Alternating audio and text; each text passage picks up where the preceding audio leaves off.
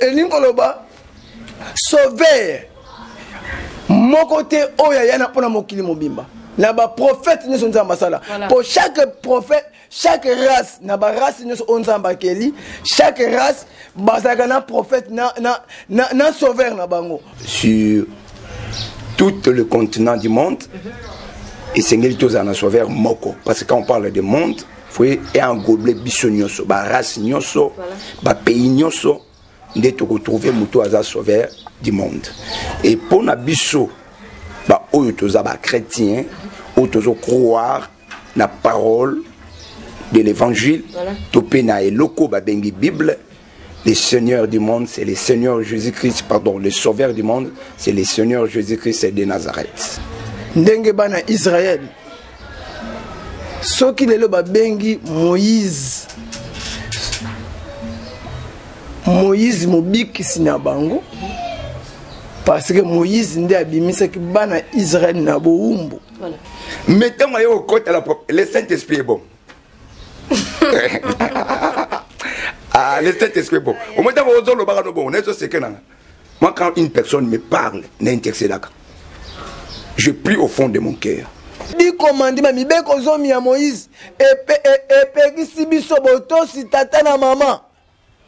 me ye asala amanka mama na ye deva bamama ya yeluselemi mama na yo kokota ayebisa atelemisi mama mama tala bamama na ngai ya solosolo bango ye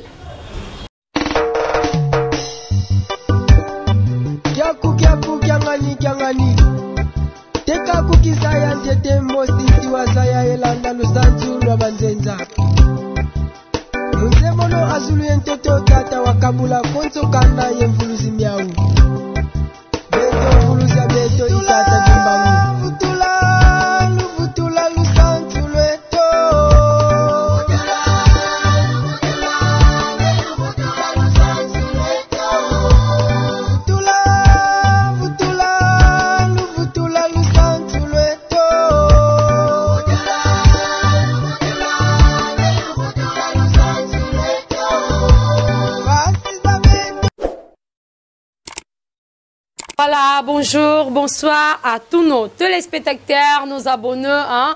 Kabeya 999 TV bisika o oh, yiso ezwami bino na ebete boza ya ebele botelemi wana ba papa ba maman hein, bambote na bino bino bai oyo bolukaka koyeba bosolo bino bai oyo bolukaka kozwa boyebi na ntina mai oyo tobimisaka ntango iso na chaine na bino kabeya 999 tv nayebi ete boza ya ebele bokota bokota bokota bokota bosabone bolaike partage émission balobi ya lelo eza ya koyinda mercredi en lune ya lelo nini oyo ya sika ngai ya ya kimesa namemeli bino na ntina ya kobakisa en plus na biso bayindo nalobaki ete ntango iso tozali mwinda oyo tokongengisa banzela oyo bilembo ezali na nzela oyo verite ezali esengeli toya na pole oyo ekongengisa na mokili alors ya lelo ezali ya sika a ah, toloba na bino ya sika bisika oyo wapi tokokumbamela masolo ya mokolo mwa lelo na mama na deba oyo tozwami na yango balobi emission ya lelo ezali sur deba nini oyo biso tokolobela na mokolo ya lelo e na banani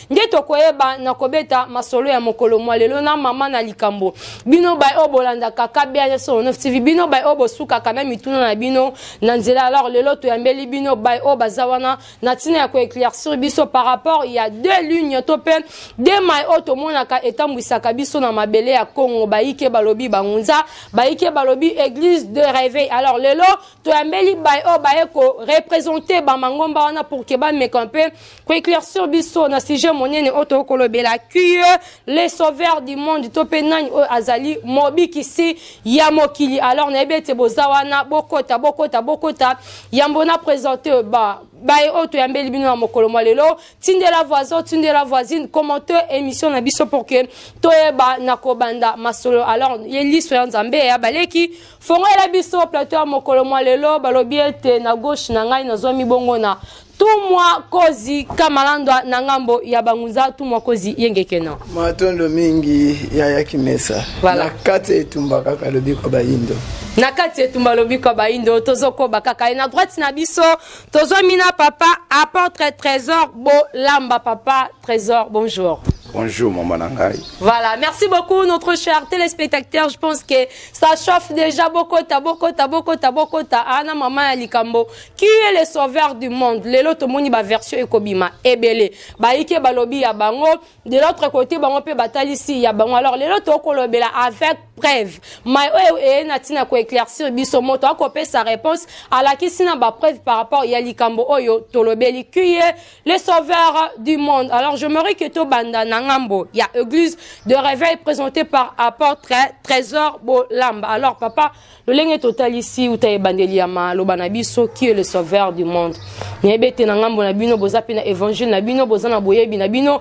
oyo yo oyebi esengeli otalisa biso na moi ya lelo mpo na yo papa trésor nani nde azali mobikisi ya mokili mobimba maloba na ngambo na bino d'accord merci mpo na parole Mama la journaliste na motuna oyo ya makasi ezosalama lelo lokola nakoki koloba thématique oyo sujet ezali qui est le sauveur ya korépondre soki nalingi naloba na mokuse eza lokola deja si na kati match mhm. na sens ya koloba ke nous avons qu'un seul sauveur voilà. parce que thématique ezolobela biso qui est le sauveur du monde voilà. du monde c'est à dire même si tozotala sur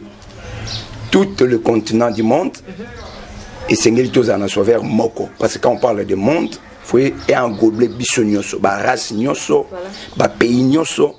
nde tokotrouve moto aza sauveur du monde e mpo na biso baoyo toza bachrétien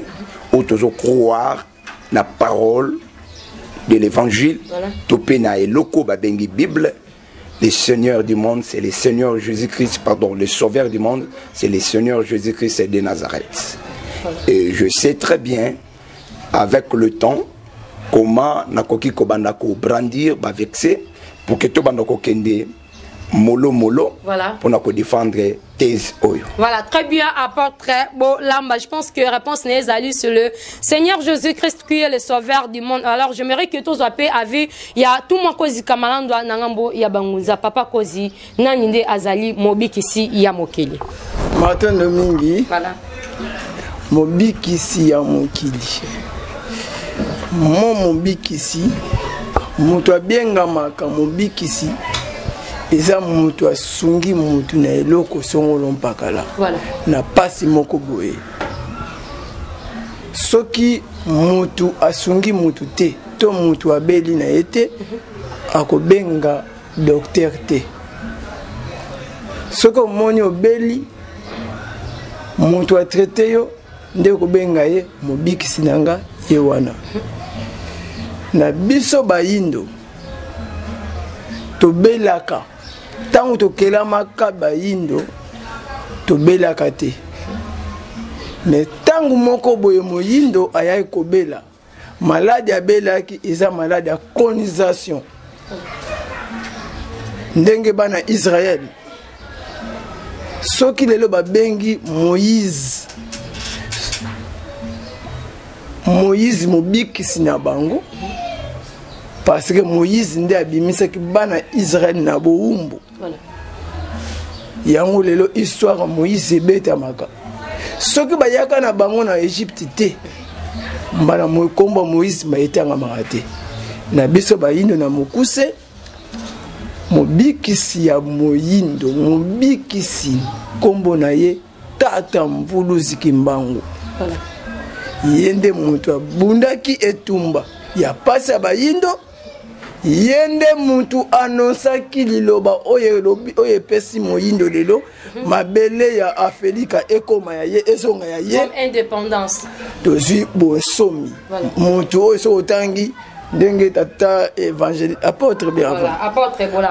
bolamba eh, soki atangi na bible place moko bakoma mpasi ya boyindo eza te voilà. to bonsomi ya boyindo eza te insele moto atika mokanda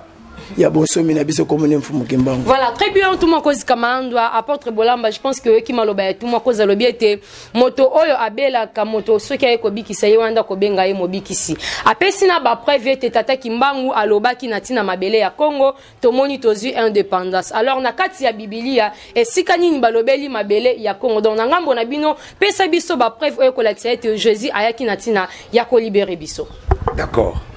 nalingi na nasala toiletage voilà. c'est-à-dire kokombola okombola oyo balobi nazokende na thématique voilà. sujet ezali qui est le sauveur du monde non de l'afrique non des noirs mais du monde to préciser ah. toyembolaka na biso mhm. matondo mingi nakanisi na langage ya ndeko apotre ndeko apotre na langage na bango sauveur ya mokili mobimba azalaka te ayeba yango lelo hmm? na prononciation na ye moko za na meka ndenge nalobi akombola me ngai nabongisa ye voilà. ye moko abengi sauveur na ye oyo ye azolobela jésus de nazareth ntango azoloba jésus de nazareth ayeba yango nazareth wana azoloba eza esprit te eza eteni oyo sauveur oyo abimelaki yango babengi ye jésus de, de, de, de nazareth ndenge ndeko saisai asalaka filme moko boye alobi jésus de mbandaka mhm. omoni voilà. e, elingi koloba sauveur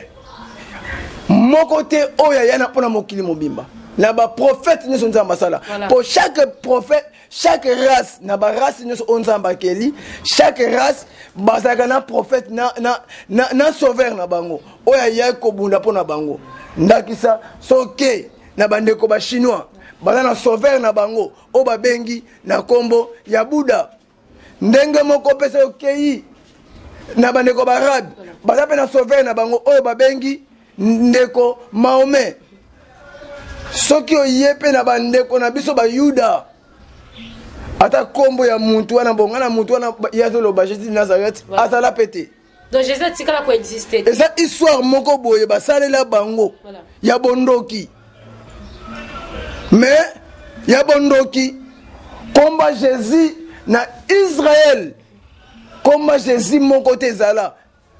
oyo ezala nkombo wana ye moko conscience na ye ayebi yango nkombo wana ezala te na mikila milimo eza na sauve moko te nzambe asala na komba jesus eza te voilà très bien tuma kozi kamalandwa apôtre bolamba balobi ete prophète ayaka mpo na mokili mobimba te ayaka nde mpo na nation moko lolenge balakisi biso awa na ebandi alors limbola biso nano est ce que prophète ayaka mpo na mokili mobimba to ayaka obe mpo na eteni et après nde okolakisa biso mai oyo jesus ayaki na ntina ya kolibere biso nakoti dans na oyo etali na kati ya jeu sikoyo voilà. mpo na moi déjà baterme ezomema ye gauche et droite mm -hmm. mais nalingi nazala kaka simple voilà. parce qu'il y a trop de confusion soki nalandi langage na ye ya ndeko na biso kodi ntango alobi sauveur moko ya mokili azalaka te mhm. wana ye alobi me ngai nakopesa vexe ngai nakopesa vexe mhm. okomona ekoloba sauveur du monde nalobi nakoke mosika te bakotanga qui est le sauveur du monde parce que tozoloba makambo oyo il faut que les écritures approuvent attestent nakoki koloba te biso baaprena biso les parents s'envolent les écrits restent donc yo ozongi na kati ya bibilia nakozonga na kati ya bibilia voilà. nalingi naloba eloko moko papa alobi awa chaque euh, race batindaki sauveur na bango mais confusion ekozala na monde soki na comprehension wana bachinois oyo ozobenga bachinois natangi soki atangi buda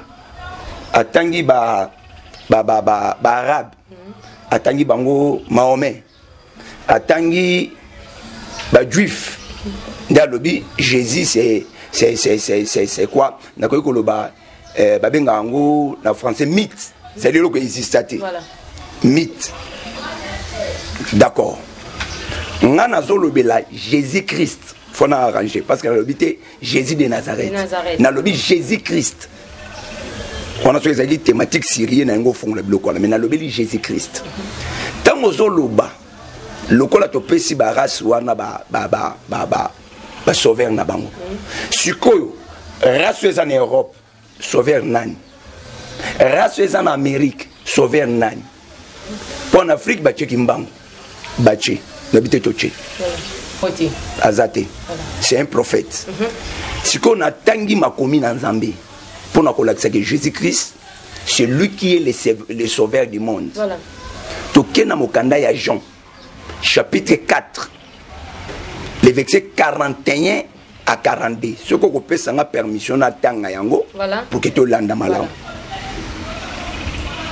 voilà bandeko balandi tokokende obe balobi verité nde verité eza ya koyinda bokota bokota bokota cuye le sauveur du monde nani nde mobikisi ya mokili baisatien boloba na biso bangunza mpe boloba na biso eza ya koyinda bokota bokota bokota Apotre Bola alobi akolakisa preuve ete Jésus Christ azali bongo sauveur ya mokili mobimba tokozongela pe tout makozi a éclaircir biso par rapport ya vérité oyo ezwami na ngambo na bango à vous. D'accord, merci nazongi. Livre ya Jean chapitre 4 les versets 41 à 42. Voilà. La Bible nous dit ceci. Un beaucoup plus grand nombre crire à cause de sa parole. Et ils dirent à la femme, ce n'est pas à cause de ce que tu as dit que nous avons, pardon, que nous croyons, car nous l'avons entendu nous-mêmes et nous savons qu'il est le vrai sauveur du monde. il parle de qui azolobela awa jésus ntango bakutanaki na femme samaritaine femme samaritaine mwasi oyo bayebisaki ye kende yelanga mobali na yo oyo yana alobi te naa na mobali te jésus ayebisi yo oza na mibali yango wana ntango ake koyebisa bato ya mboka abi boya motu moko bo alobeli ngai ma makambo ya vi na ngai ezalaki une chose étonnante bato wana baye ntango baye balobeleni tondimi te mpo na yo nde moto olobeli biso me tondimi parceke biso moko toyoki oyo ezobima kati na ye azali mobikisi ya mokili mobimba vala tu moko ezika malanga na ngambo na bino matondo mingi confirmation epesami jesus azali eh, mobikisi ya mokili mobimba bolimbisi wana eza baconfusion bamitiaka na motu voilà ntango euh, tobanda kotanga na classe eza na écriture moko bango kotanga babanda kobenga yango euh, écriture oyo babengi yango euh, monde arabe comprendre euh, bibilia ayeba yango bibilia oyo ozomona oyo azotanga wana banani bakomi yango bato bakomi yango atiaka elika na mokanda atangi te eza mokanda ya babomi eza mokanda ya bavoler bato nde bakoma bibilia bato bakoma yango bibilia euta likolo te bafei oyo batravaille eh, oyo basala yango oyo bakoma yango eza na bato bakoma yango bakoma yango mpo na kobalola mokili ye moko ayebi yango ce sont des missionnaires catholique bible oyo akomi wana eza mokanda ewuta na israele te bandeko bayuda bango mokanda oyo ya bango babengango tora nayebi te makomi oyo ye ayotanga azotangela yango na tora totangela na ancien testament to nouveau testament nouveau testament bato bakomi nouveau testament eza baromain baromain basalaki livre na bango mpo na kokonze monde yango omoni tala comportement ya bato bakoma livre wana nini oyo basalaki basimbi bible me bazalaki babomi bakoko na ye ndenge avandi wana mpo nkombo na ye namoni yango bolamba azali ndeko ya equateur kuna na equateur bakoko na ye bakatama maboko tika nayebisa ye bien bien ntango mosusu ayebaka te bato oyo basimba mokanda ya bible wana soki so, na, na equateur baza bavictime ya kokata na maboko soki oboyi soki otondisi 10 kilo ya kauchu te bakati ye maboko mokanda bavoler babaloluki bonzambe mpe azongisa mpe makasi na nsima omoni moni afrique bonzambe ya mokili mobimba motolo na yango eza afrique ata nkombo ya motu diable oyo atanga diable oyo atanga na nkombo ya jésus nkombo ya motu wana so otali histoire na ye eza afrique aya koyekolaki bonzambe mpa na biso ayaki na egypte batanga soki soki lelo kibonzambe mm -hmm. ya bato ekomamaka na mokanda te nzambe aza na kati ya natire aluka ayeba nature voilà aluka ayeba nature bandeko balandi bokota bokota eza ya koyinda ayaya apôtre bola balobi bibilia ezali maye oyo bato bakoma ezali mokanda ya bamiyibi mokanda ya bandoki ya barome bango moko bakolo yesu batangaka tora me yo alelo ye okolobela biso bibilia au moment ezali mokanda ya miyibi ya barome defendre na ngambo na bino nazosala effort nyonso voilà. mpo na tokutana na ndeko kodya jusqu'à présent bokutani te nayebi ke tokokutana te eza nao difficile mais par rapport ya thématique uh -huh.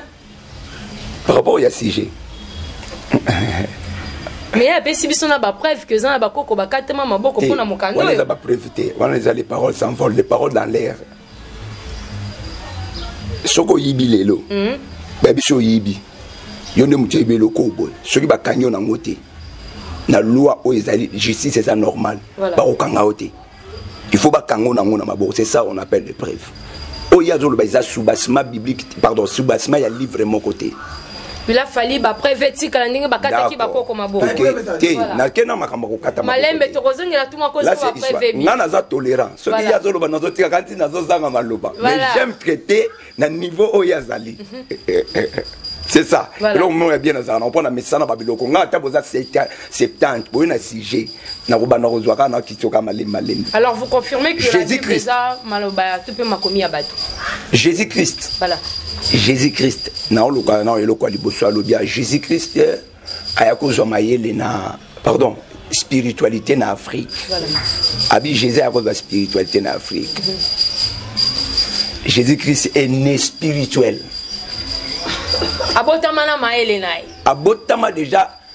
na oyo babengaka bonzambe parce que lui même c'est dieu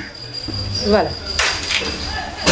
avant abotama nakoti fenêtre na mpo nakanga yango na mbangu mhm. avant abotamaka yo azondima bible te alobi livre ya bamiyibi mhm. eh, nazwi yango bible ekomama na bato livre moko te eutaka lola ekoi toran wana azoloba wana mhm. c'était les écrits des anciens mm -hmm.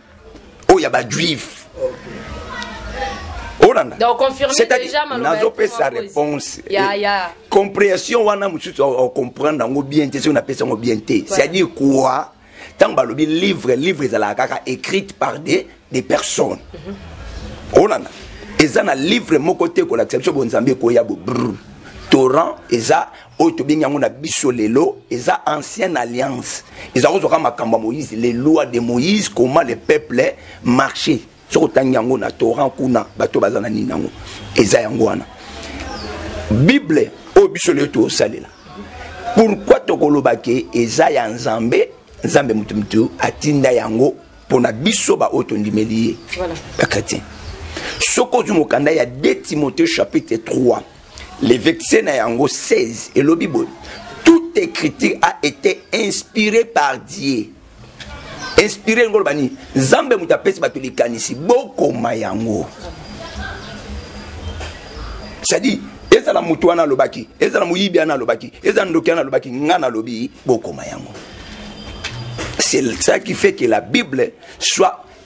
authentique livre oyo parmi ba livre nyonso oyo ezolobela bonzambe oyo ezala sacré ezala saint pardon saint eza nde livre wana tobengi bible de quoi encore nakoki kobakisa totika kosala euh, philosophie parce que même nga na oloba nga na balobaka na bavexe nabelaka maladi ya bavexe eh. colossier chapitre 2 le vexe nango witi elobi boye prends garde prends garde enfin que personne ne vous trompe par des vaines philosophie, des rudiments du monde, des hommes, pardon, des traditions du monde. moto akosa bino te bozala mayele amema bino na makambo oyo etali ndenge mokili etambolaka lokola kilelo ko biso tolingi tokendaka boye moto amema bino te na makanisi biso mboka na biso tosalaka boye to mpe makambo ya mokili mpo na nini bato base concentre na oyo ekomami mpo na milimo ezala sauver parce que même mpe tokoloba le mot sauveur wana todécrire yango mpenza bien te eh, entrée du jeu déjà epesa ekamwa nini papa alobaki eloko moko alobi soki moto abeli moto aye kobikisa ya sauve ye mhm. ah, mais toyeba étymologie ya bamona français ko sauve soki moto abeli obikisi ye na maladi osauve le verbe batraitaka wana se guérir moto aza na nzala alingi akufa oye opesi biloko ya kolia na sens étymologique ya bamoko kotya te sauve oaide ah. eh, moïse abimisi bana israel na egypte okomona nil part na bino nayebi ke batangaka mpe bible me batangaka bible te mpo na kovanda te abanda kozwa conscience ma otanga lokola luka kocontredire me tookende malema okomona te moïse ntango abimisi bana ya israele na egypte mpo bakende kana babengaka ye sauveur moïse il était le libérateur kabila le père aye awa alongoli biso na régime ya mobutu il n'est pas un sauveur, il est un libérateur. Le sauveur, c'est lui qui euh, sauve les gens pour les salir. C'est-à-dire que biso tozalaka na biso na prison te même bajuif wana bazalaka biso na baprison te quand jésus christ est venu aye kolongola bango na prison te mais aye kolobanga bango na prison spirituelle c'est-à-dire quoi le péché était en l'homme esengeli sikoyo péché eza kosala moto akufaka mpo na lisumu wana mpo nazala condamné pour du bon c'est-à-dire il n'y a pas la promesse après liwa jésus christ est venu maintenant mpo na aracheter areparer voilà. place ya péché enfin que dans la fin de toute chose toya kozwa oyo tobengaka le sali pour la vie éternelle. Donc lorsque tu kolobela sauveur c'est sur le plan spirituel non physique. Ah, nayebi te peut-être tokutani te peut-être olingo olobela nga soki sur le plan physique nakopesa yo bandakisa baza ebele. Voilà. Mais sur le plan spirituel, nga naolobela spiritualité, naye kolobela physique. Physique te. Donc eh. Jésus ayaki na tina ko libérer biso eh. na molimo pour que ceux qui to kufi lobi to se quoi. Voilà tout moi kozika malandwa. Te asana na maloba. Ngambo na bino. Ngambo na bino to kende par rapport ya my oh papa bimisi, sauveur azali moto ayaka ko libérer bato na molimo. eloko moko alobi yango nalobi fa ezongisi na miko alobi eloko moko motuya jésus ayaki kolibere biso hmm? na bowumbu hein, na lisumu moko boye voilà. ye andimaki koyongola lisumu wana mhm. nayebi soki na comprendre mabe atangela nga lisumu yango nkombo nango nini ezala bien makasi voilà. atangela nga nkombo ya lisumu yango lisumu oyo oh, jésus ayaki kolongola biso parce que ngai ti lelo voilà. ye atant que apôtre voilà. asengaka biso repentance totubela masumu siko apesa biso nkombo ya lisumu wana voilà, oye ayaki kolongola mpo toyeba kobikisama na molimo apôtre bola nalingi naloba eloko moko toza na lisumu te me toza na masumu masumu ebele ah. voilà yo okoki kozala moyibi ngai nakozala ndoki ye akoki kozala escro ye akoki kozala kuna ya polygame to mpe impidique siko l'œuvre oyo ezalaki misala ya mabe yango nde baobenga péché quand christ est venu na ancienne alliance wana naloba makambo ya bato ya bible mpona ekosala mpe kamwa mathématique na mutu ya ndeko na ancienne alliance lisumu ezalaki facteur ya punition direct une fois péché soki otangi na livre ya moïse eza na basanction na yango ezalaki mais quand jésus christ est venu alongoli les sanctions na koexplike mais azwi oyo biso tozomona makomi babengi le pardon ou la grâce na ancienne alliance nazoloba na bible mpasi ngai langage na ngai eza bible moïse atyaki mibeko boye soki bakangi yo na ekobo na mwasi ya bato obeko elobaki babamba bino mabanga bokufa nini ememi bino na liwa acte wana yango nde babengi lisumu ekobo wana yango nde babengi lisumu mais quand jésus christ est venu moyen baboma biso biso na bamabanga babetaka biso eza te wana makambo ya leta mais na ndenge ya, ya boye ya logique mm -hmm. toza lisusu na babiloko wana te osali lisumu yeba yango malamu soki osengi le pardon alimbisi soki oreconnaitre yango te okufi na yango sikoyo yango nde okoya komona oyo babengi jugement punition finale ekoya kobeta dans la fin de toute chose voilà. ozomona dans la fin de toute chose yango wana ozomona ntango jésus aloba ne juge point bato bakanisi ne juge point elingi olobaki moto asalaka nde buzoba moto asala non elingi koloba par rapport ya nini sentence finale eza lisusu nanu te ekozalaka kaka jugement dernière mpo na moto nyonso azwa oyo ye alonaki Voilà, tout moi kozika malandwa. Matondo mingi. Bon. Eh, tata mwana abenga so ya potre eza te fo abenga fo akende kobenga batata na ye ya molimo voilà. donc yo kobenge so apotre te benganga frère eh, ata frère voilà parce que omoni makambo oyo alobi voilà. ye moko amikangisi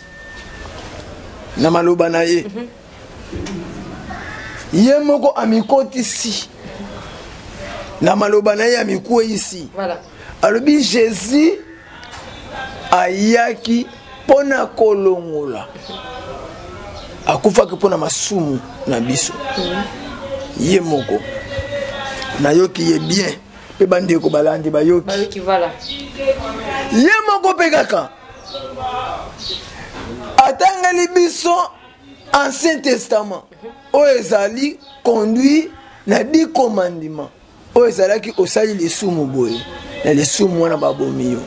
babambi yo mabanga jésus aye abi te boboma su te mais boboma su te ye moko kaka me bikomandima wana ya moïse ewutaki epai ya nani na makanisi ya moïse todi komandima ewutaki epai ya nzambe ye bongo arepondre biso voilà. bandeko balandi siko soki yesu aye kolongola bikomandima oyo ezalaki revele na ancien testament etambolaki moto apesaki maloba epa moïse di commandement moto apesaki yango eza nzambe soki jésus aye kolongola maloba liboso oyo nzambe alobaki na moïse eske papa na ngai mon frère apôtre elongwe voilà disciple hein? disciple kutu molai parce que sango oyo bango mhm. sango bango bakomi bapaster ezaka mpo na chômage ya mboka soki na mboka soki na mboka misala ezalaki na ndimi te bamibenga baapotre parce babiengamaka te bayekolaka bakoma basala nzambe tozongi jésus mpo na nga jésus akomi satana oyo aye kolongola maloba nzambe alobaki liboso pa ya moïse parce que moïse aza moto abiengami na nzambe nzambe libota nyonso nzambe mpo atambwisa yango apesaka mibeko parce que nzambe avandi na kati ya mibeko mibeko ya nzambe eza pete te mibeko ya nzambe moni nzambe na kati ya mibeko ya nzambe yango nde nzambe avandi sikoyo yesu ayaki konile mpo na nga nakobenga eh, jésus aza criminel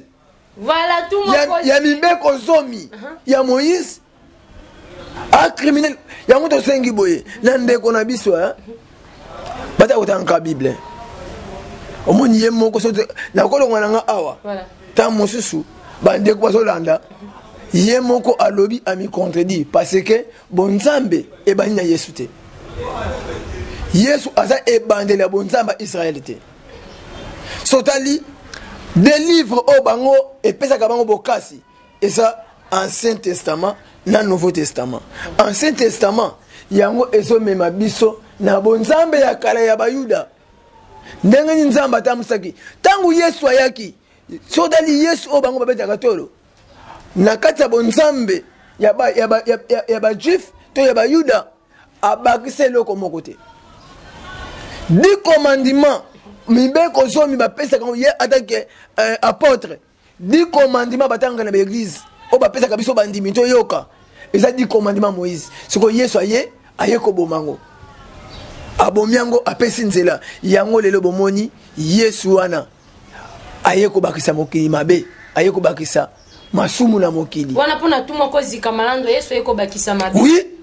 parce que na kala voilà. na mibeko zomi ya moïse soki mwasi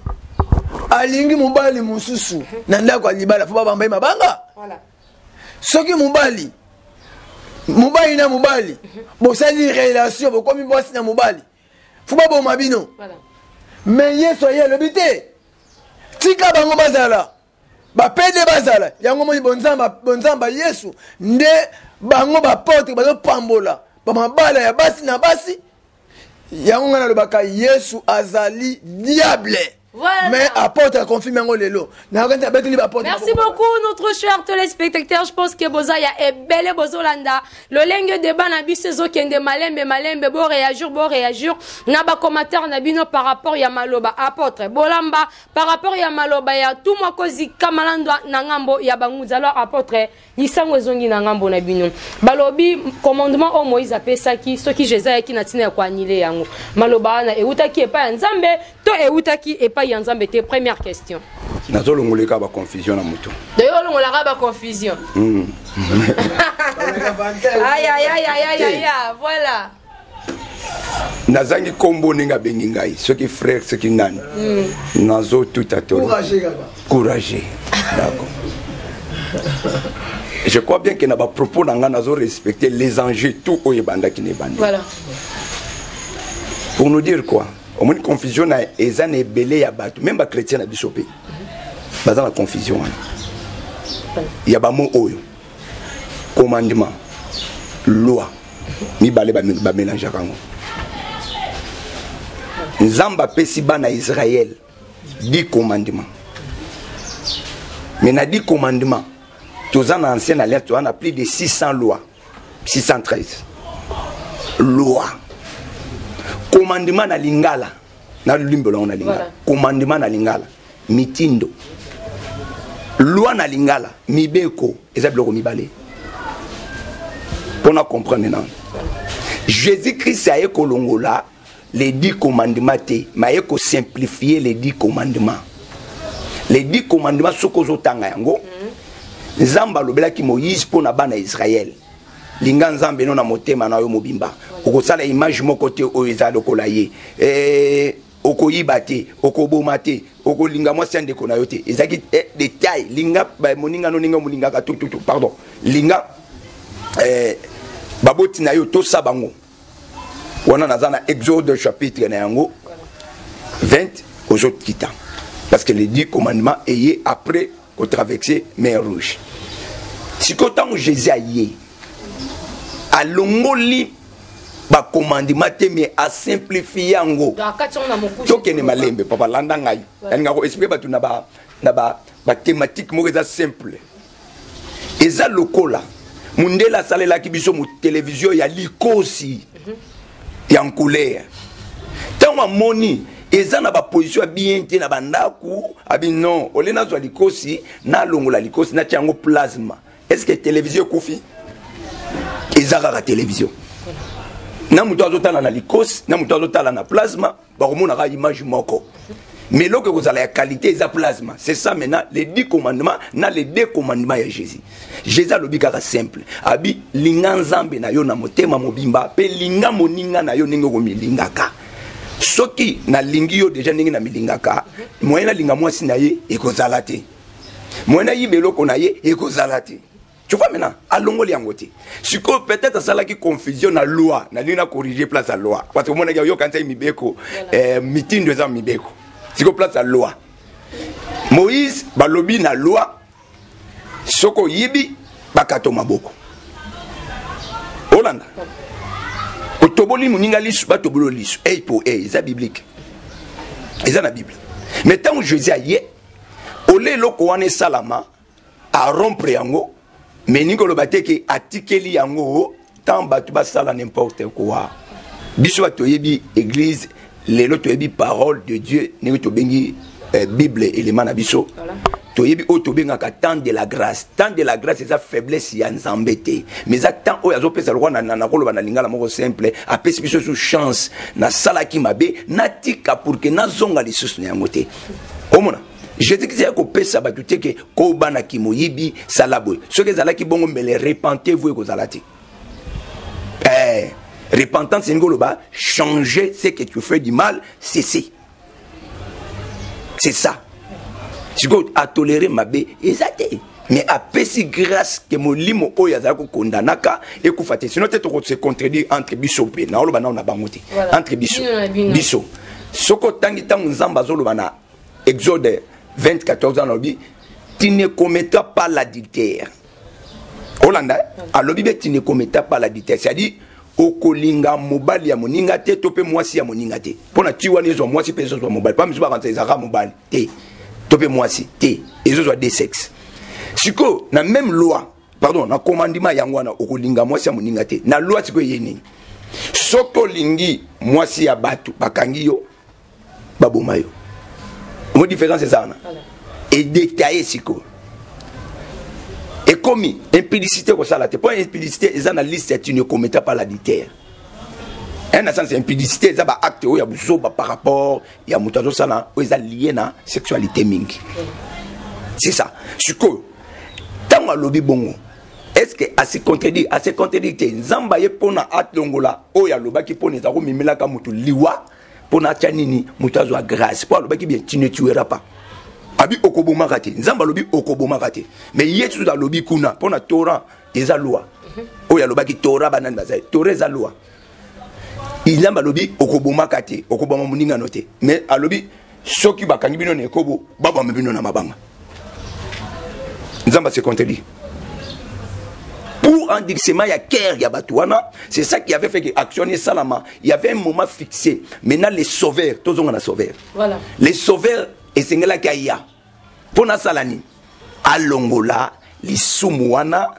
mpo na biso tobika tozwa oyo ezali grâce tokozela kaka oyo esambisele ya suka nayi natanga eloko moko ya mokie soki otangi na acte chapitre 5 le verset 31 natanga yango mpo ezala na motu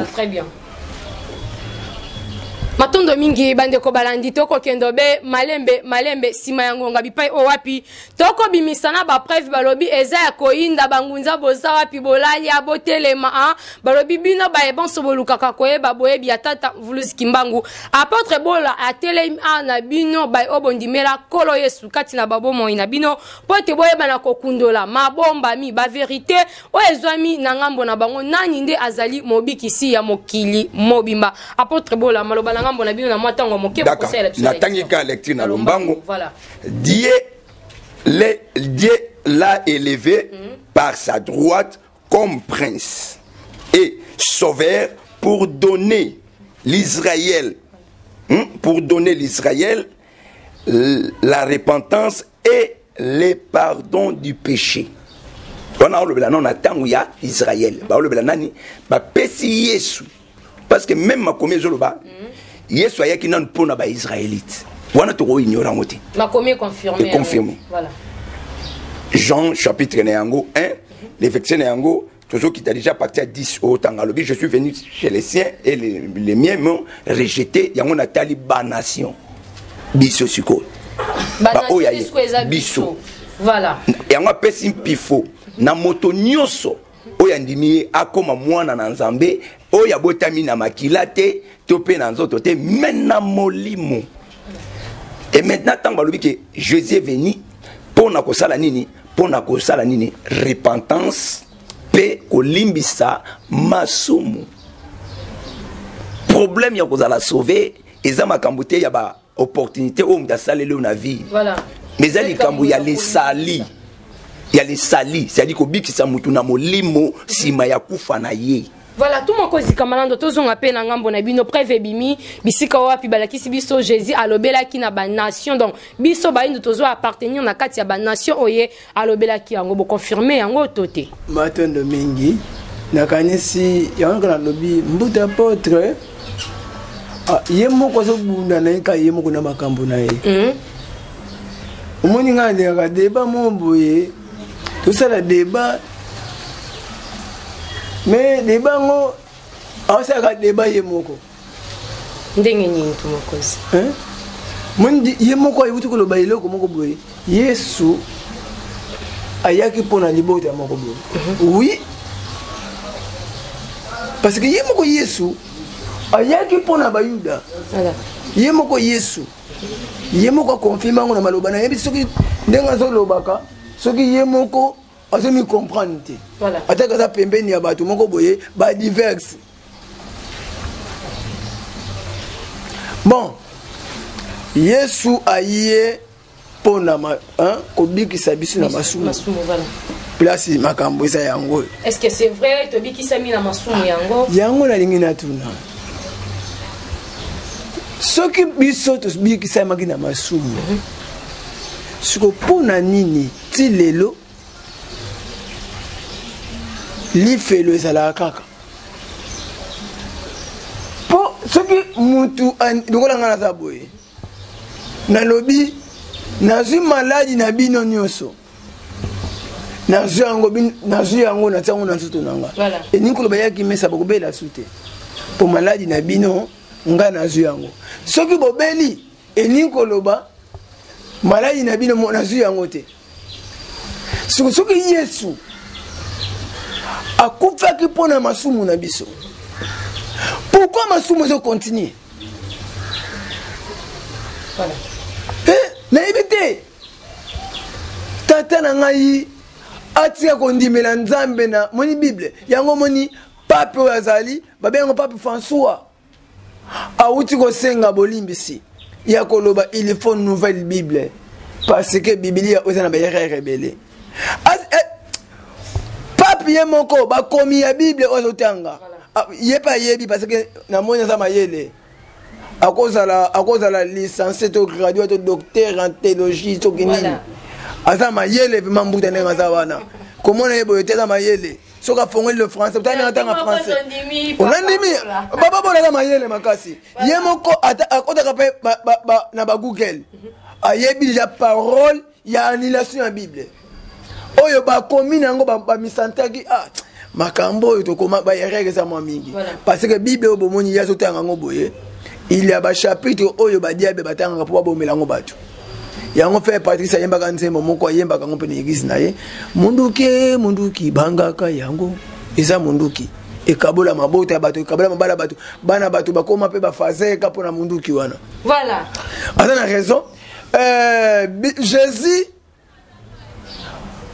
ayaki mpo na libota ya bayuda yesu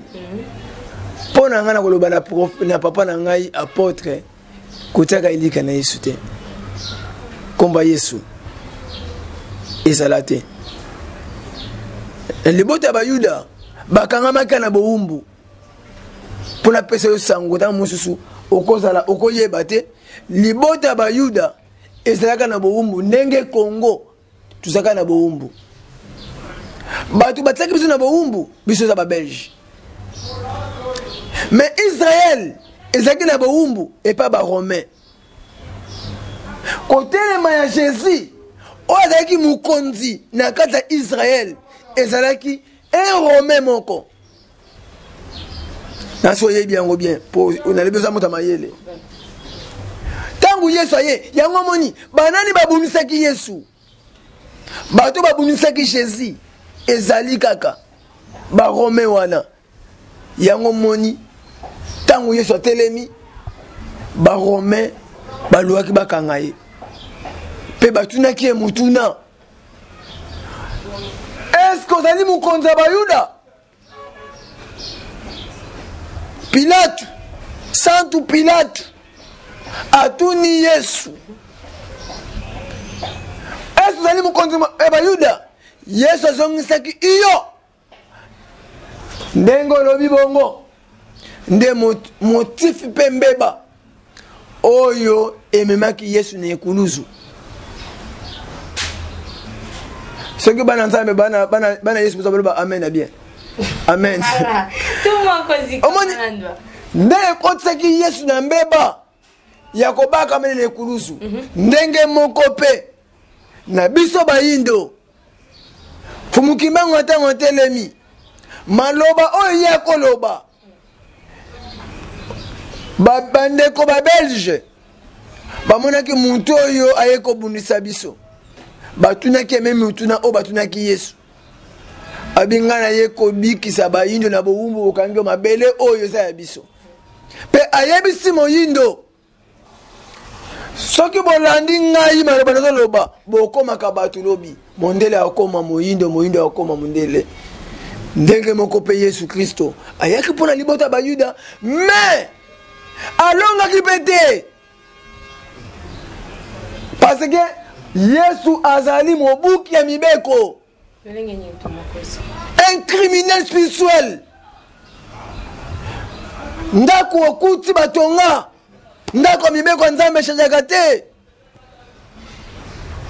atia bonza atia exemple ya bonzambe te na plasme likosi na, plas, na, na, na televizio likosi na plasme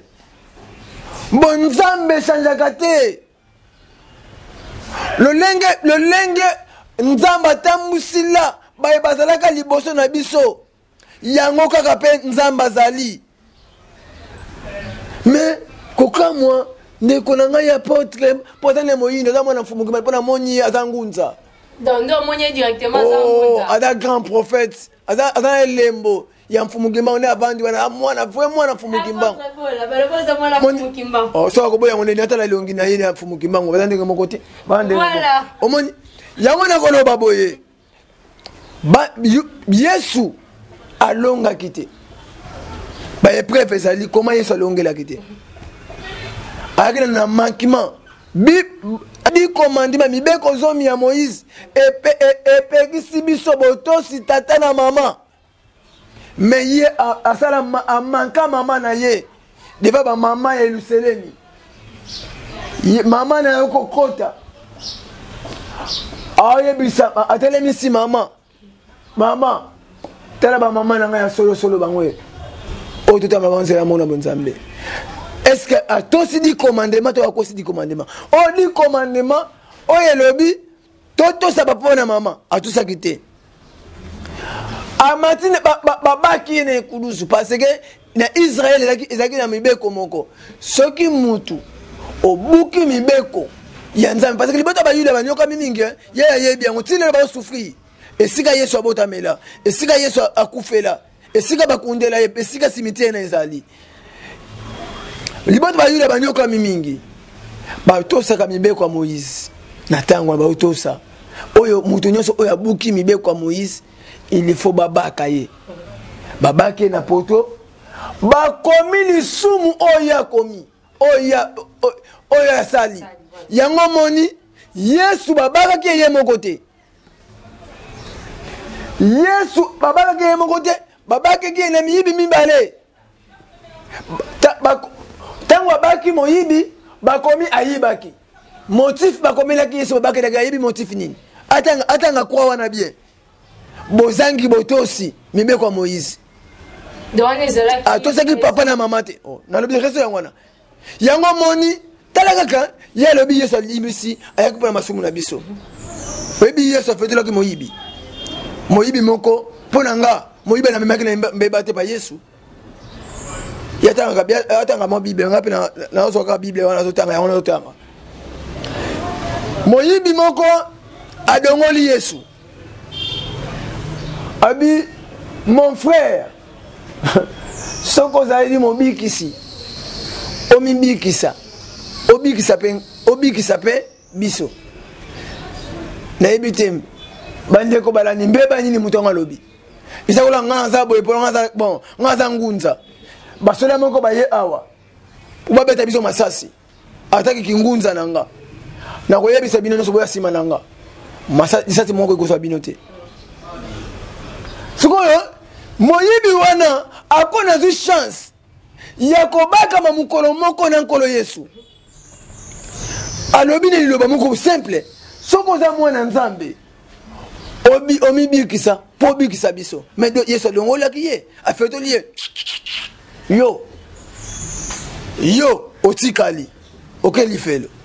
Mo, meme motif moyibi oyo alobaki te amemi ye na na lola, na lola. Voilà, siko injustice nani aye na injustice na mokili tozonga mpe na ngambo ya apotre bolamba papa meka mpe kolimbolela biso par rapport ya maye nyonso tuma koza alobi nsima nde tokokota na question na bino balobi ete yesu ayaki mpo na bajifi vrai motif oyo babakelaki na ekulusu ezali ete mpo ete andimaki azali mokonzi ya bayuda alors nayebi te na ngambo na bino boconfirme yango to te yasana alobi voilà. eza nango na nzela te donc ti sikoyo apotre bola azoboya tu mwa kozi ayayayaya zela nano nabanda nano eloko nde nasepeli nango image oyo tokotala yango ata lobi ata nini na ba youtube tout moins cause tout moins cause Papa apôtre. Alobi Boyene Bandeli. Mm -hmm. Jésus-Christ n'a pas existé. Mm -hmm. Na français, lobi, ce sont des mythes. Hein, C'est-à-dire, et l'eau comme ils allaient rater. Oh, tu n'as pas qu'elle au Congo. Mais tant que tu as le Saint-Esprit est bon. ah, les têtes esprit bon au moins tango ozo lobaka no bon nazo seke nanga moi quand une personne me parle na intercelaka je prie au fond de mon cœur et je dis à Dieu réellement si tu es Dieu tu dois maintenant commencer ya kosalaka moto ya bana kocomprendre ke ye moko azomikanga singa elobi nango ye moko abi jésus kristo exista te mais alobi jésus kristo wana ayaki alingaki azwaki bokonzi oh moto yango azalaka te ayaki lisusu abotami maloba na oloba ye alobi yango okotala ata na ozala te abotami c'est-à-dire tondimi deja na poana jésus azalaka sikoyo nakomi na, na question oyo olobi yango nalingaka mpe soki toza na ndeko moko tozosala partage nga nalingaka badeba te me nalingaka bapartage c'est-à-dire chamaye je kokota loko ah, yo place okosi te okokutaka nango te c'est-à-dire nalingaka kokende na baélément moko eza claire soki nazali na biki nakokoma babiloko mosusu ekokaki kobangosa na ngai question alobi atuni ah, question eza nao nini naza na besoin nayokango alobi soki yesu akufaki mpo na masumu na biso pourkui lelo masumu yango ezokontinue kaka voilà yesu akufi mpo na lisumu ebunga te na mokili me mpo na elimbisama erreur nde grave yango wana lisumu eza acte ine na nzoto ya motu aza na basentiment aza na baemotion voilà. omona aokometre sikoyo lisumu ezalaki na infraction yango wana ozomona babengi loi loi na oexplike eloko malamu peut-être ye azalaki te nazala kosokola moke koyiba eza loi te koyiba eza acte loi ezali soki oyibi babeti omona kotambola exemple na 22 heures eza loi te mais ntango tokomaki awa na baconfinement balobi moto akobima na ndako 22 heures te fo osuka 20 heures c'est ça la loi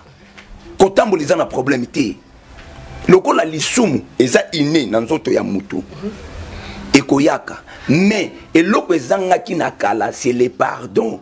yango jésus aye mpo na kosala nini kolimbisa c'est-à-dire moto acommettre le péché il faut aluka areconnaitre yango asenga pardon boke nzambe asala nini atanga yango lisusu te 1 jean chapitre 3 le verset 9 bozoloba si vous confessez vos péchés et vous renoncez à ça il est juste et fidèle pour vous pardonner soki okotanga lisumu na yo okoyeba na kolima yango ke nasumukaki aza oyo akolimbisa mpe akobosana yango wana likambo ya lisumu sikoyo deuxième question alobi par rapport jésus ayaki mpo na bajuif ba c'est-à-dire ainscrire biso ngai nalobi te ke ainscrire biso napesi yo vexe na opesa so vexe ya mibale me na banda na oyo ya liboso nalobaki nalobi soki otangi na 1 jean chapitre na yango 10 ozokita ti na 12 balobi yesu ayaki mpo na oyo ya libota na ye libota na eza banani bajuif omona basamaritain bakananayen bazalaki oyo bafandaki na baisraelite na kati ya israel bakomaki baisraelite mais oyo nzambe ayaki mpo na bango ce sont des juifs obie tobengika to tobaka bango nyonso baisraelite mona parce que bible ezolobela baisraelite ayaki mpo na bango yesu ayaki mpo na bango baoyo aye bayambi ye te ayambi sikoyo mutu nyonso cestadi banation oza na mokongo oza mongala moluba brésilien eh, américain oza eh, français na baoyo nyonso bandimi ye basali nini bakomi bana na nzambe no na nzoto to mpe na makila me na molimo sikoyo naye napesa vexe mpona ebalana na teme toza na yango tolobela sur les sauve sikoyo tala condition ya kozala sauve marke chapitre na yango 16 le vexe na yango 15 ntina 16 elobi boye ngai nalingaka kotanga mpo na ezala na éclaircissement ekokende na mbangu papa kobanga mama akobanga na yo te elobi boye puis il leur dit allez partout dans le monde loka mpe alobeli bango wana moto aoloba jésus aolobela banani aolobela badisciple oyo tobengi baapôtre ya liboso abi puis il leur dit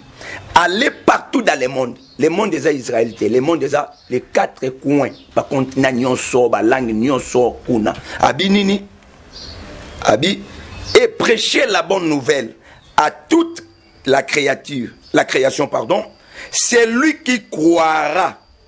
et qui sera baptisé sera sauvé mais celui qui ne croira pas sera condamné nene explike kaka deuxième paragraphe oyo azoloba wana abi na moto nyonso oyo akondima mpe azwi libatisi ye nde akosala nini akobikisama akozala sauve awa azolobela makambo ya nzoto te basentima te oke o te okozwa te parce que nini azongi na eloko moko papa alobi jésus ntango ayaki alingaki akoma mokonzi mpo na yango nabukaki mibeko ya, ya, ya moïse boyeboye jésus aboya pouvoir ya se ya moyo soki oyebi te tanga mokanda ya jean chapitre 6 histoire balobi après avoir kopesa bango mbisi mpe mapa bato wana balingaki bakomisa roi alobeli bango na ye awa mpo na kokoma roi ya mondo te tanga yango jésus azalaki na mposa alongola pilate te jésus ayaki mpona ndenge moto aza kotambola na mabe ndenge moto aza kokufaka na lisumu alongola nde eloko wana mbano wana c'est ça maintenant on appelle ya koloba ya kozala sauve pardon nabakisa eloko moko parce que moto nyonso mpe lelo biso mpe na grate ya baeglise de reveil bazokanisa soki ondimi yesu ozwi bateme eh? ozwi bateme na suka na nyonso okobika te soki otamboli mabe lifelo ezozela yo c'est-à-dire croire croire en jésus-christ elingi oloba te nandimi yesu aza nzambe nandimi yesu te croire en jésus-christ croire à sa parole soki alobi koyiba tika koyina tika kotonga tika tiango en pratique c'est ça croire en lui c'est pour ça komona même na matthieu chapitre nango 24 le verset nango 11 à 12 soki okomi na 13 alobi boye na bandika naloba yango na lombango alobi boye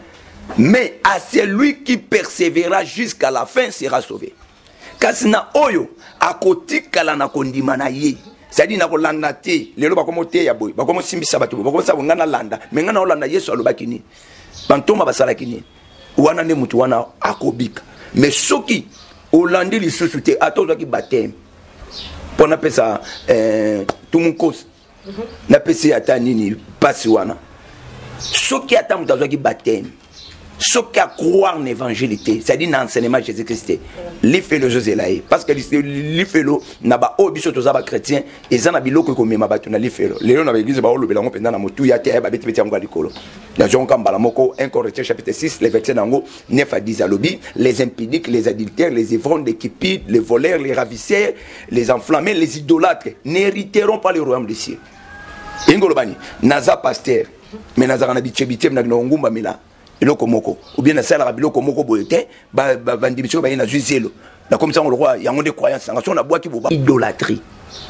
Parce que Bison, la nouvelle alliance, c'est le Saint-Esprit qui opère tout. Voilà, très bien, Papa Bolamba, c'est le Saint-Esprit qui opère tout. Alors, tout mon cosy, tout zongi nangam bon abino, tout le tout le casco kolobela sur tata en voulu skimbango. Na koli qui a été apôtre, au cozongi c'est simandé toko kota. Voilà. eloko moko boye ya suka na kozongisa bona azongisa yo mito hmm. ntango alobi abengi bango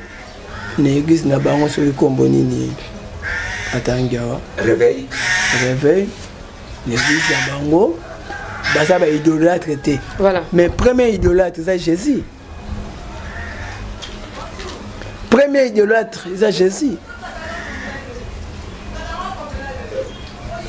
abetela ngai lisolo ya aveugle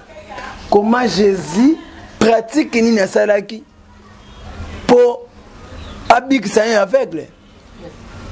jésus azwaki mabele atie soyi na ye atie na miso ya aveugle aveugle amoni okosenga ata jésus bolimbisi na parole olobi parce que jésus premier idolatre eza jésus nayebi te soki nakosi parce que ngai mpe natanga nanga bible voilà ye mpe otanga no bible oui ngai mpe natanga bible nzela moko eza ya koyinda bokota bokota bokota premier idolatre eza jésus voilà jesus azwi soi na ye mhm. azwi mabele abwaki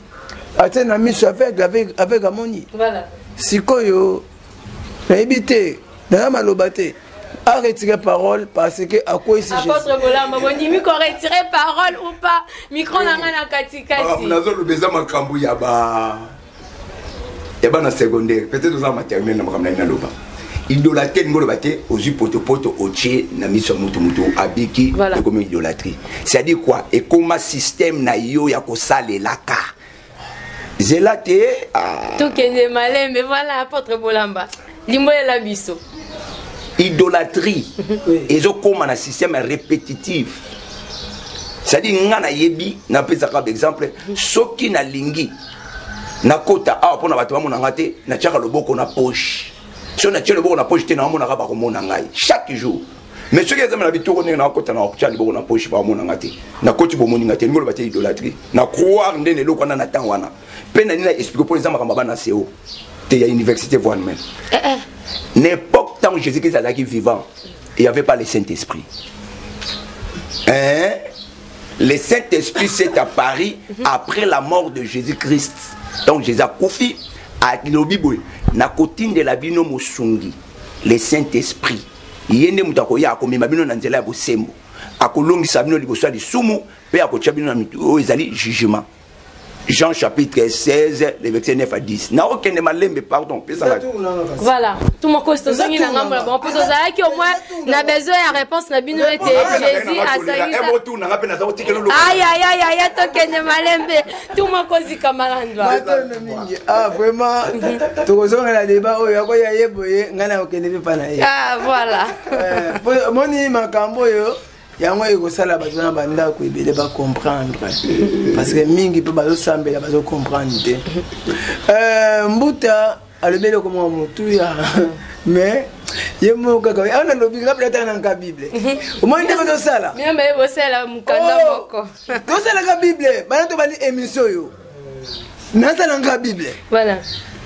mais nga soko bible yako nameli yango mwana mina kotanga ngao mati alobaki boye mais nayo tanga kaka oyo ye azobakisa yango nayo komante mhm. nayokola animateur ya maloba na ye euh, jésus azali na ntango ya jésus molimo santu ezalaki te ntango yesu akufi nde alobaki akotinda molimo sa santu ah, apa apotre tozongi na création ntango nzambe akeli mokili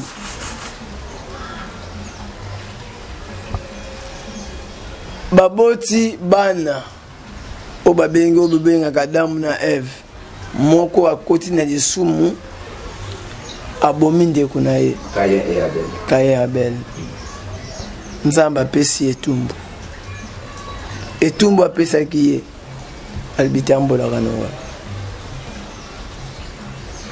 mais question ya kaye epa nzambe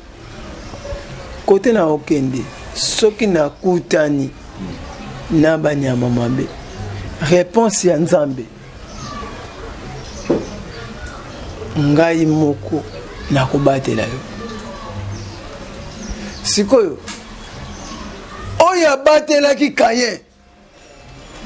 na desert na punition eza nani molimo santu te molimo tozongi na bana israele joseph atekami oyo elotisaka bandoto epai ya papa na mama lobi moïse lobi joseph akokoma moto monene mama amoni sanza baloti ndoto elotami oyo boyembaka ezalaki ndoto elo ebongwani ya solo ndoto nani apesaki ndoto wana atekami joseph atekami mpo bandeko na ye nani abatelaki ye mpo ndoto wana elata nzoto papa na ngai eza tala osi akotanga bible bible ezomema biso na baerreur ebele jésus te motu atindeli biso molimo santu ntango nzambe akelaki mokili molimo santu c'est quoi molimo santu eza, eza ye moko nzambe ntango mosusu mpo babengaka na lingala me bengaka te na français oyo babengi kesinifie molimo santu na français eza nini eza esprit siko nzambe aza na nzambe aza esprit sikoyo avant jésus christ nzambe azalaka na ye te bongo oyo asalela ba abraham aza nani oyo asalema ba jacob aza banani oyo akokisa ndoto ya joseph e, elata nzoto eza nani moni papa na ngai e, moko boye moni ngai bayaki bazosala deba natangi na ngai buku moko te fo motu esalaka ndenge tobenga naza na maternel te ngai kutu moto na maternel eza nde yo parce que ngai asala tese na nga na motu naza nanga na biki te nasimbi nanga telefone te me naoloba yango oyo nyonso oloba wana nayaka yango na motu na nga na yo nani aza na maternel eza yo moto na maternel voilà wana place tobongisika yango wana voilà tout moi kozika malandwa malgré ma nyonso otalisi na biso alors tozonga mpe na ngambo na bino na kolika ete papa bolamba a défendre sur jésus christ par rapport ya kosauve oyo ayaki kopesa na mokili alors so tozongi na ngambo na bino bangunzi olobi ete tata kimbangu mpe ayaki na ntina ya kobikisa limbolela biso olenge papa bolamba alimboli ete yesu ayaki asalaki boye alobaki boye alors na ngambo na bino Tata Kimbanga abikisaki biso alobaki nini mai nini elekaki na ngambo na bino bango. Matondo mingi mama journaliste tala namoni loboko elakisami liso ya nzambe yaya baleki deba yango oyo yaya baleki eh, kotozo kokende na nga kotozo kokende na nga parce que toye kobunda nanu parce que à part jésus toza mpe na bitumba oyo mpe lelo bamisima na enseignement na bango balobaka mahome nde sauveur ya, ya, ya mokili oye mpe lelo mpe soki awa na congo baindien mpe baye na religion na bango so otali lideso général na bango eza na bibwa bango babatisaka bato na piscine ya rouge bitumba kote tokende na nga olingi obebisa nango deba range kaka tokende kaka na deba tokende voilà très bien tuma kozika malanda tuma koza boi na ye alobi tokende kaka lolenge tozokendele alors tozonga na papa bolamba par rapport ya mai oyo tumwa kozi alobi nayebi te bozali na mai oyo esengeli bozongisa lisusu mpo oyo olobi oyeno kaka na ntina ya kokomba liso ya nzambe yaya baleki tokokende obe nsima ya ngonga d'accord nazala trop simple na question eloko eza nanu kaka ya motuya wana soki moto nanu andimi kobukana te na oyo biso tobengaka le saint esprit ekozala mpasi mingi mpo na ye de un de deux nalingaki nabongisa mpe kama moke nalobi te ke le saint esprit eh, nalobi te ke le saint esprit euh, aexista te Hein? Mhm. Eh. Le Saint-Esprit, le Saint-Esprit c'est l'esprit de Dieu. Voilà. Mais pona akoma opérationnel na corps nyonso lokola lelo mhm. eye na nouvelle alliance na ancienne alliance ezalaki l'esprit du seigneur est sur moi na motu nyonso te eza koya epa motu esali mosala ekei l'esprit du seigneur ezoya parce que lui même dieu ntango alati nzoto c'est jésus il fallaki atika mission e continue par l'esprit wana eza sujet mosusu ezaka mwa glissant na eloko moko alobi euh, parce que ngai naotanga babible naotanga mpona bato bayeba naotutatolo te nakokanga miso ata nalalaki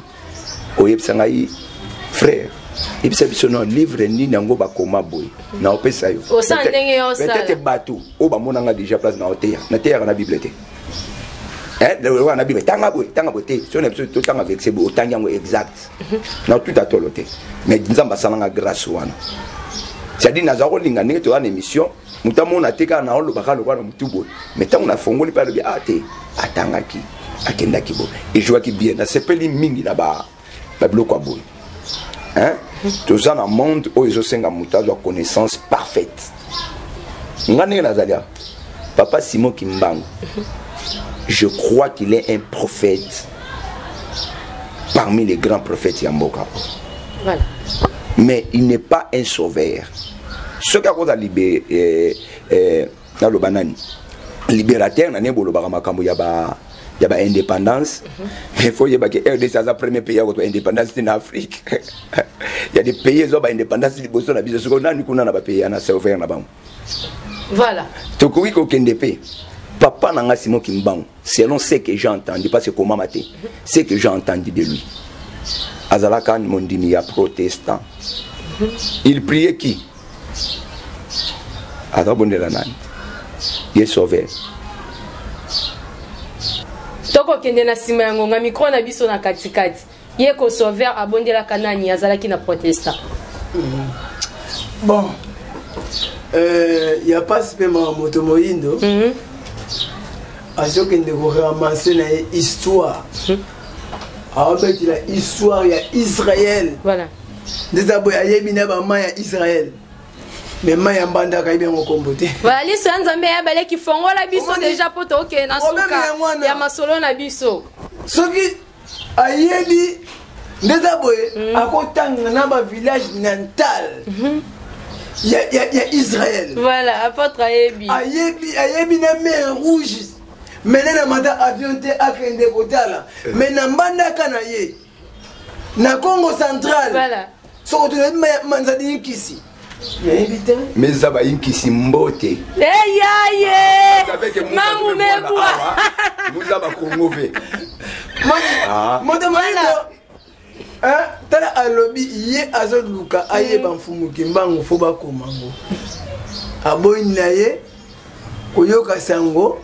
ya bato oyo bazalaka lokola eh, sango mutu, mutu moko batuti na pascal voilà. mutu moko azalaki wana siko mpo oyoka sango wana olinga nanu eleka na journal me mutu azalaki wana ayebi so aksida moko salemi ya 207 na report voilà. tala baimage yango oyo namoni yango na misu ebi no ngai nandimela kaka oyo bakomi mutu aza na posa balakisa ye image balakisa ye makomi eza mutu aza mosika eza bikolo mosusu bakotuna sango ya mfumu kibango baluka yango na papier ndenge, ndenge biso bayindo sango ya yesu tomoni yango te